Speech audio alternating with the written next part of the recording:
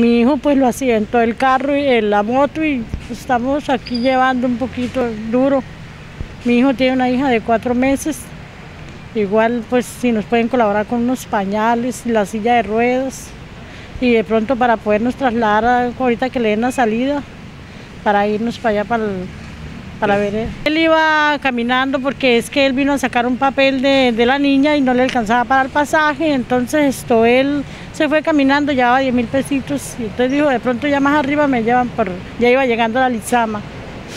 Entonces ahí pues yo duré un día, yo no sabía nada de él, me llamó un policía y le dijo que a él lo habían accidentado una moto del ejército. Entonces yo me vine angustiada, yo iba pidiendo la cola, yo me vine y llegué acá a la clínica primero de mayo.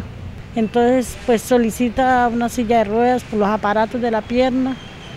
Eh, sí, de pedirle a ver si de pronto me colaboran. A barranqueños de buen corazón que me colaboren para que por esta necesidad que estamos llevando ahorita, pues es duro hacerlo, pero de verdad que me tocó. Nunca lo ha hecho, pero verdaderamente que me tocó.